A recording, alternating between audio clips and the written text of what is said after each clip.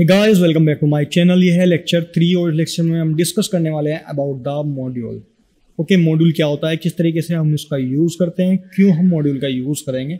और कैसे मॉड्यूल का यूज़ करना है? ये सब कुछ आज हम यहाँ पर डिस्कस करने वाले हैं. गाइज़ हमारा जो फ्रंट एंड है, यानी कि H T M L C S S Java इसकी वो कंप्लीट हो चुका है। यदि आपने वो कंप्लीट नहीं किया है तो प्लीज़ आप प्ले लिस्ट को जाकर एसिस कर लें और फ्रंट एंड को जाकर सीखें। वीडियो लेट हो गई है, थोड़ा नाइन डेज़ लेट हो गई है क्योंकि I am too busy with college works okay but अब जो है वीडियोस जो है वो डेली अपलोड होगी। टेंशन मत ले बिल्कुल भी ओके okay? और बस मुझे आपसे कुछ नहीं चाहिए, मुझे आपसे सिर्फ़ लाइक चाहिए और कमेंट चाहिए ओके अब बात कर लेते हैं कि मॉड्यूल क्या होता है, ठीक है? देखिए बेसिकली गाइज़ एक जो फ़ंक्शन होता है, जैसे हमने जावा में फ़ंक्शन पढ़ा था, एक फ़ंक्शन को ही गाइज़ मॉड्यूल बोलता है, ठीक है? फ़ंक्शन को ही मॉड्यूल कहा जाता है। इस सेट ऑफ़ फ़ंक्शन को ही क्या कहते हैं? मॉड्यूल कहते हैं। जिस तरीके से हम जावा स्क्रिप्ट लाइब्रेरीज का यूज़ करते थे उसी तरीके से नोट जे एस में मॉड्यूल का यूज़ किया जाता है। इसका यूज़ किया जाता है? मॉड्यूल का यूज़ किया जाता है। ओके और ए सेट ऑफ़ फ़ंक्शन जो होता है, आप अपनी जो एप्लीकेशन थी, उसमें उसको आप क्या करते थे? इंक्लूड भी करते थे। यानी कि जो आप एप्लीकेशन बना रहे हैं, उसमें आपको किसी फ़ंक्शन की ज़रूरत पड़ पड़ रही है। ठीक है? तो आप क्या करते थे? उस फ़ंक्शन को वहाँ पर इंक्लूड करते थे। उस फ़ंक्शन को आप वहाँ पर यूज़ करते थे अपनी अपनी एप्लीकेशन में। ये ये किसमें कर रहे थे गाइज़ हम? ये सब कुछ हम जावा स्क्रिप्ट में कर रहे थे। ओके अब बात कर लेते हैं कि नोट जेस में मॉड्यूल कैसे यूज़ होगा। नोट जेस में क्या है गाइस नोट जेस में जो मॉड्यूल है, वो बिल्ट इन मॉड्यूल्स हैं। वहाँ पर आपको मॉड्यूल बनाने की आवश्यकता नहीं है।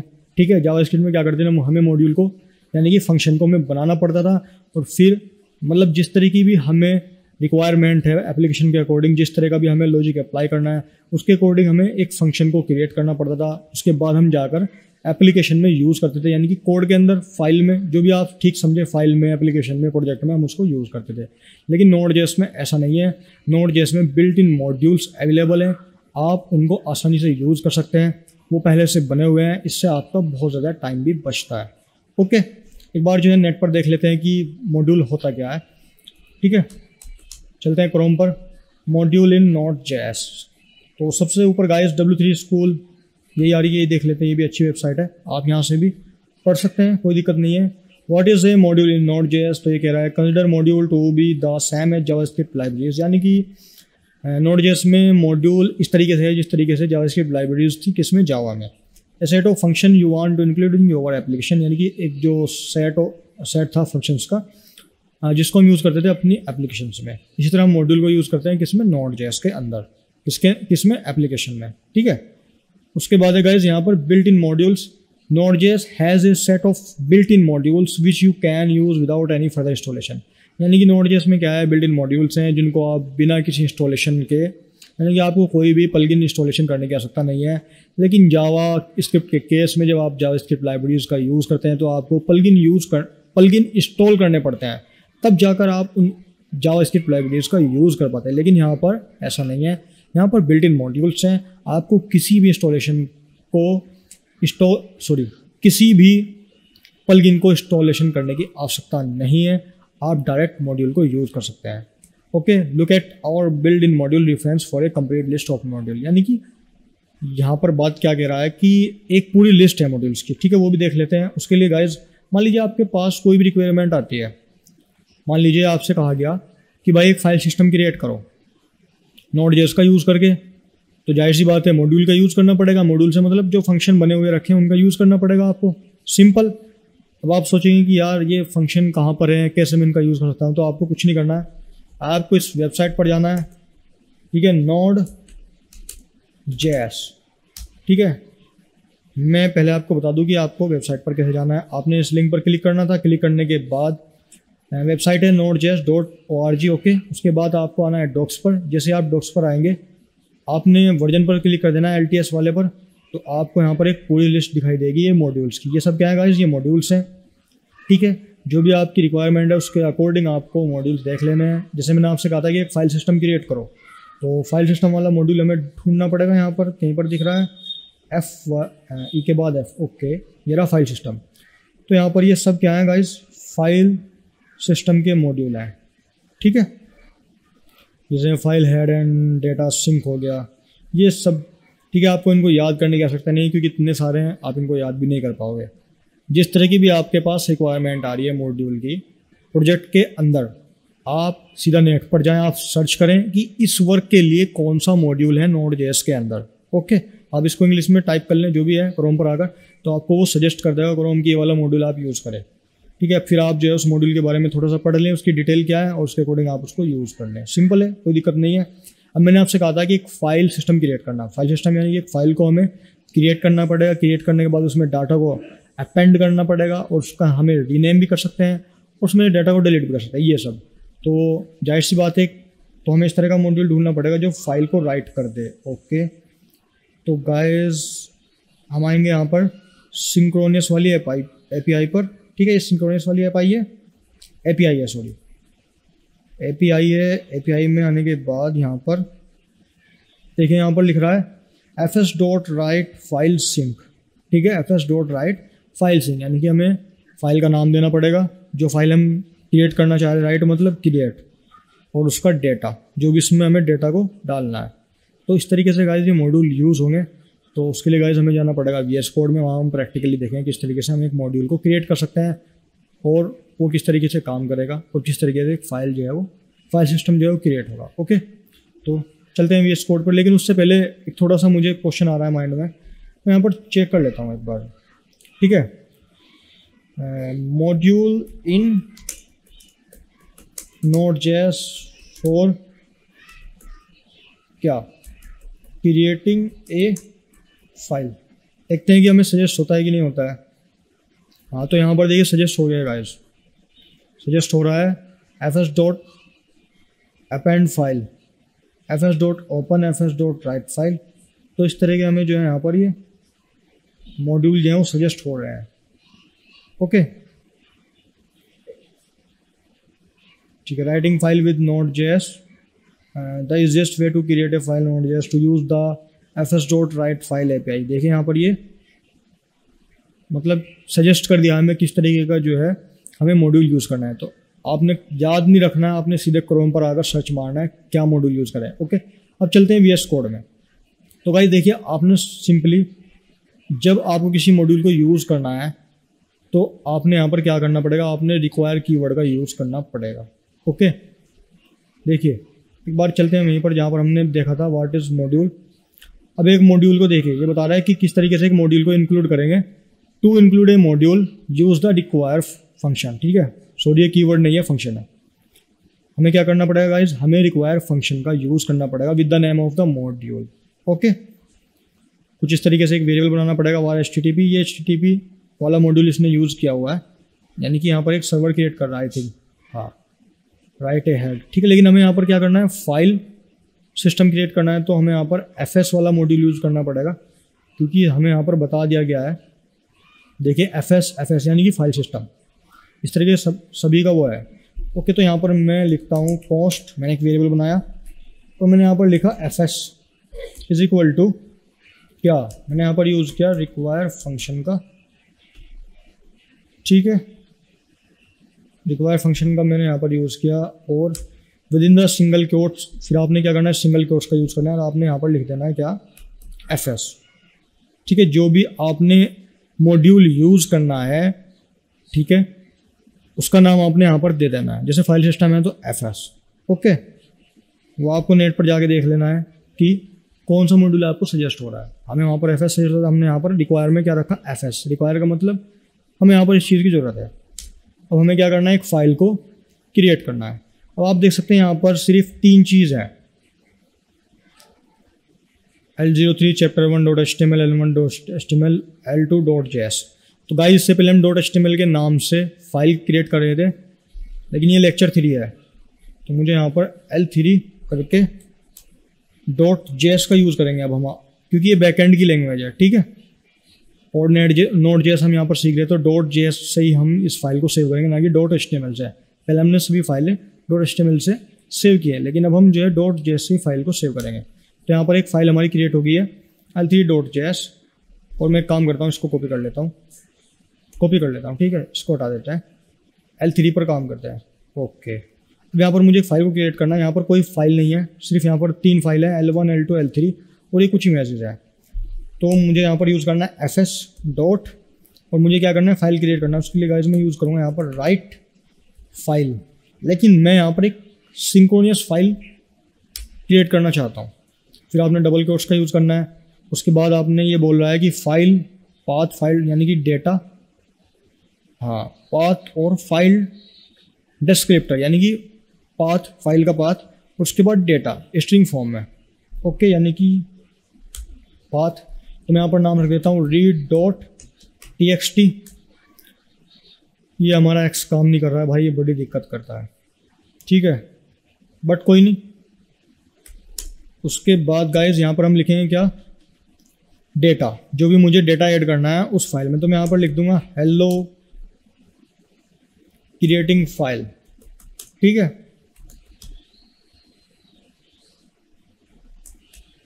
क्रिएटिंग फ़ाइल और यहाँ पर मैं अल्ट प्लस जेड का भी यूज़ कर लेता हूँ। ताकि मेरी लाइन जो है आगे तक ना भागे। और गाइस मैं इसको हटा देता हूँ। अभी देखिए, यहाँ पर कोई फ़ाइल नहीं है, लेकिन अब यहाँ पर एक फ़ाइल क्रिएट होगी। उसके बाद इसको करेंगे सेव सेव करने के बाद। ये तो आप कर लें गाइस मैंने बताया था कि आपको किस तरीके से रन करना है। टर्मिनल में जाए। न्यू टर्मिनल न्यू टर्मिनल में जाने के बाद ये आ जाएगा आपकी विंडो खुल के नीचे। आपने यहाँ पर टाइप करना है नोड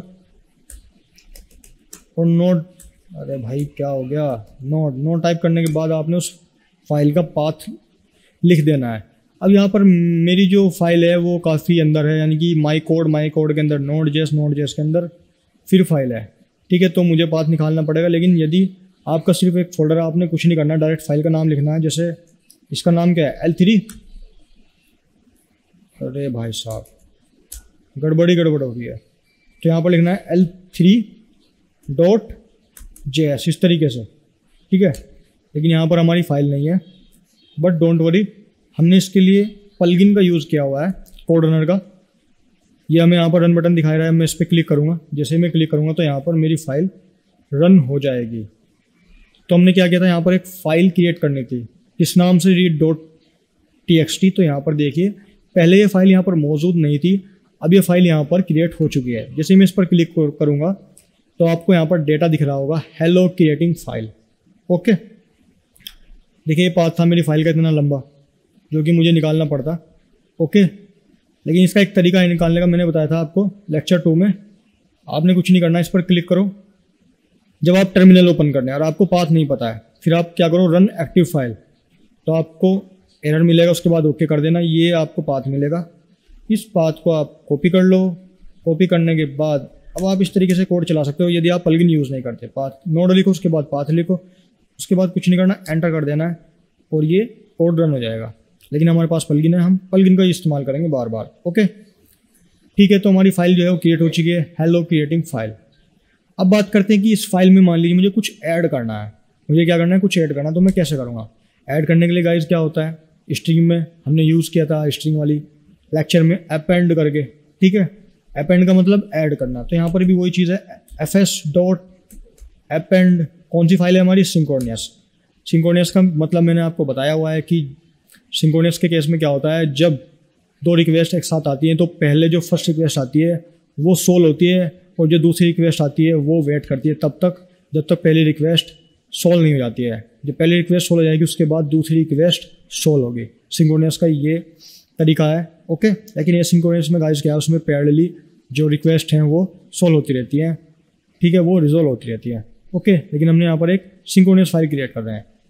तो गाइज़ मैंने यहाँ पर यूज़ किया append file synchronous okay अब मैं क्या करता हूँ गाइज़ करना कुछ नहीं है, वही सेम तो ऊपर से हम जो है, कौन सी फ़ाइल में हमें अपेंड करना है डाटा रीड डॉट टी में। तो मैं इसको यहाँ पर कॉपी कर लेता हूँ और फिर यहाँ पर पेस्ट कर दूँगा। मैं टाइप भी कर सकता था, लेकिन प्रॉब्लम वही है, हमारा एस नहीं चल रहा है। तो ऊपर मैंने लिखा है हेलो क्रिएटिंग फ़ाइल अब मान लीजिए मुझे इसके बाद ऐड करना है good morning hello creating file good morning okay good morning ठीक है तो क्या ये इस रीड डॉट टी फ़ाइल में ऐड हो जाएगा? बिल्कुल होना चाहिए सेव करेंगे, उसके बाद आपने रन करना है। जैसे ही मैं यहाँ पर रन करूँगा तो देखिए। Hello creating file good morning यहाँ पर मुझे क्या करना पड़ेगा? एक स्टार्ट वाइट स्पेस देना पड़ेगा, ठीक है? ओके तो उसके लिए पहले रन करना पड़ेगा, तभी तो ये अपडेट होगा स्पेस तो अपडेट हो चुका है। Hello creating file good morning तो इस तरीके से हम डेटा को क्या कर सकते हैं गाइस ऐड कर सकते हैं। ओके अब बात करते हैं, मान लीजिए, आपने किसी फ़ाइल को रीड करना है। तो आप किस तरीके से करेंगे? तो उसके लिए गाइज़ क्या करना है आपने? यहाँ पर मैं यूज़ करूँगा एफ़ एस डॉट क्या? मुझे करना है क्या? रीड तो यूज़ करूँगा फ़ाइल सिंक कौन सी फ़ाइल को रीड करना है? Read dot T S T को। देख तो मैं क्या करूँगा, इसको कॉपी कर लेता हूँ। कॉपी करने के बाद मैं ब्रैकेट्स में इसको डाल दूँगा। ओके? अगर ये फ़ाइल यहाँ पर क्रिएट नहीं हुई है तो इसको रीड नहीं करेगा, ये एरर दे कि ये फ़ाइल नहीं है। लेकिन यहाँ पर ये फ़ाइल ऑलरेडी है, बनी हुई तो गाइज़ क्या करेगा, इसको रीड कर लेगा, इसके डेटा को क्या करेगा रीड कर लेगा। तो मैं क्या करता हूँ रन करता हूँ, ठीक है? रन करने के बाद क्या होगा? अब हमें पता कैसे चलेगा कि ये रीड हो गई। हालाँकि फ़ाइल रीड हो चुकी है तो उसके लिए गाइज़ मैं क्या करूँगा, यहाँ पर एक वेरिएबल बनाऊँगा, कॉस्ट करके, कॉस्ट आर, क्योंकि हमने क्या किया, इसको रीड किया, ठीक है? अब मैं क्या करूँगा console dot log console dot log और इसमें क्या करूँगा आर को मैं डाल दूँगा, ठीक है? मैंने यहाँ पर एक काम करते हैं, इसको हटा देते हैं। हाँ मैंने यहाँ के राइट आर को इसमें डाल दिया, ठीक है? अब ये जो फ़ाइल यहाँ पर जो रीड हो रही है, पूरी की पूरी, ये इसकी वैल्यू किसमें आ जाएगी? आर में आ जाएगी। और यहाँ पर लो कंसोल लो डॉट लो करते ही क्या हो जाएगा? ये प्रिंट हो जाएगा। तो क्या करते हैं, इसको फिर से रन कराते हैं। और भाई ये दे दिया इसने एरर एरर दिया, क्या दिया? F S is not defined F S is not defined define तो है। Read dot this this read dot read file sync read dot T okay ठीक है। दोबारा से रन करते हैं। तो आपको दिख रहा है, दिख रहा होगा कि यहाँ पर जो फ़ाइल थी हमारी read dot T X T जिसमें लिखा होता है hello creating file good morning इसने इसको रीड कर लिया बफर की फॉर्म में सिक्सटी एट सिक्स फाइव यानी कि बफ डेटा ठीक है, ये है बफ डेटा अगर मैं बात करूँ इसकी, क्या? मैं इसको कैसे निकाल सकता हूँ? यानी कि यहाँ पर नोट जेस के अंदर ये एक फीचर है, जिसके थ्रू हम किसी भी फ़ाइल को बिट्स की फॉर्म में क्या कर सकते हैं? रीड कर सकते हैं। ये बिट्स हैं सिक्सटी या सिक्सटी फाइव सिक्सटी लेकिन अब मुझे क्या करना है इसको स्ट्रिंग में, मुझे तो इसको स्ट्रिंग में रीड करना है ना? तो मैं स्ट्रिंग में कैसे रीड करूँगा? तो मुझे क्या करना पड़ेगा? इस बफर वैल्यू को स्ट्रिंग में चेंज करना पड़ेगा। तो क्या इसके लिए मैं क्या करूँगा? टू स्ट्रिंग फ़ंक्शन का यूज़ कर लूँगा। यहीं पर ही आर डॉट टू स्ट्रिंग मैं इसको ऊपर भी यूज़ कर सकता हूँ। ठीक है वही मैं आपको बता दूँगा किस तरीके से। पर पहले हम इस फ़ाइल को रीड कर लेते हैं ओके यानी क्या क्या यहाँ पर एक फ़ंक्शन यूज़ कर लिया ताकि ये बफर वैल्यू जो बिट्स की फॉर्म में जो वैल्यू है, ये स्ट्रिंग की फॉर्म में आ जाए। तो फिर से मैं इसको रन कराऊँगा तो यहाँ पर आ जाएगा, देखिए नीचे। टेम्पेड को रन फ़ाइल डॉट जेस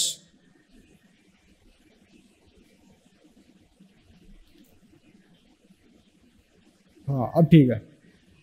Hello creating file good morning okay काम करता हूँ मैं यहाँ पर, एक और कंसोल लेता हूँ, ताकि आपको समझ में आए कि इसने बफर को रीड किया। और बिट्स को रीड करने के बाद फिर उनको स्ट्रिंग में चेंज किया। ओके? तो एक मैंने कंसोल आर किया एक console R dot to string किया ओके? इसको मैं डिलीट कर देता हूँ और फिर से एक बार रन करा देता हूँ ओके? तो देखिए पहले बफर आया।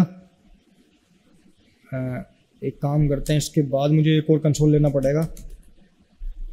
बड़े कंसोल यूज़ हो रहे हैं भाई साहब। कंसोल डॉट लॉग और मैं यहाँ पर लिख दूँगा रीड फ़ाइल ठीक है read file okay read file ठीक है? सेव उसके बाद फिर से run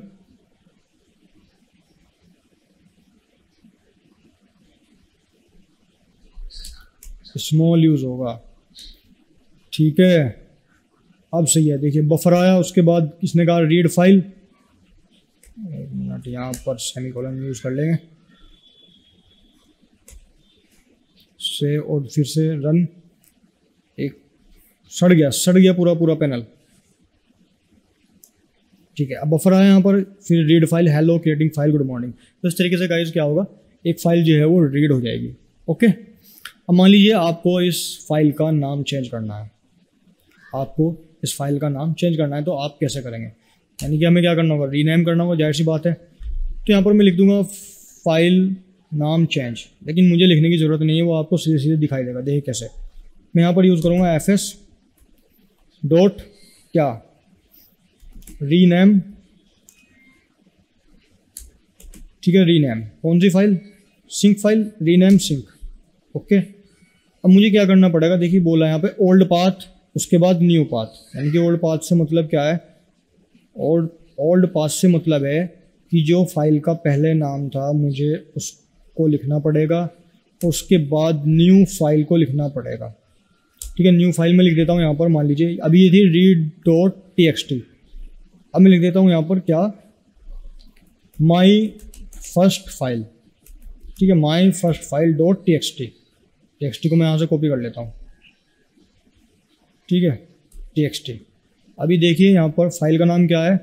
Read dot T X T लेकिन जैसे ही रन करेंगे तो यहाँ पर फ़ाइल का नाम क्या हो जाएगा इस चेंज हो जाएगा। देख सकते हैं आप रीड डॉट टी हट गया और यहाँ पर क्या आ गया? My first file dot T X T okay और बाकी कंप्लीट जो है वो वैसे ही चल रहा है। ठीक है? रीड फ़ाइल इसको भी रीड कर लिया है। Hello creating file good morning data को ओपेंड भी कर लिया है और एक फ़ाइल को हमने क्रिएट भी कर लिया है। तो कुछ इस तरीके से हमने एक मॉड्यूल को गाइस जो है वो यूज़ किया है अपनी रिक्वायरमेंट के अकॉर्डिंग ठीक है? अपने प्रोग्राम में। क्योंकि हमारी रिक्वायरमेंट थी कि हमें एक फ़ाइल सिस्टम क्रिएट करना है। एक फ़ाइल को रीड करना है राइट करना है अपेंड करना है। और उसके, उसका रीनेम करना है। आप भी जो है एक फ़ाइल सिस्टम क्रिएट करें और उसमें और चीज़ें करें डेटा को डिलीट भी करके देखें और और भी बहुत सारे जो मॉड्यूल्स हैं उनका यूज़ करके देखें। ओके आई थिंक आपको समझ में आ गया होगा। तो प्लीज़ गाइस वीडियो को लाइक कर दें शेयर कर दें एंड चैनल को सब्सक्राइब कर दें एंड कमेंट ज़रूर करें। मिलते हैं नेक्स्ट वीडियो में। थैंक यू सो मच धन्यवाद।